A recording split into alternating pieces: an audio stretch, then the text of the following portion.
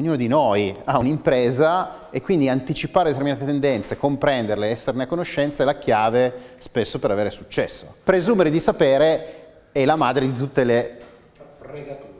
Sì, tutti gli errori, diciamo, che puoi fare. Questo cosa significa? Che anche nell'attività di comunicazione, anche nell'attività di marketing, anche in tutte le attività che stiamo parlando adesso, se parliamo di strategia si deve assolutamente basare su dati. Se non ti dai una sveglia non entri in contatto con un nuovo modo di gestire. Allora hai due strade, o impari un nuovo modo, competenze che c'erano prima, oppure lasci andare. La strategia ha un orizzonte temporale lungo e un budget assegnato, se vogliamo essere precisi.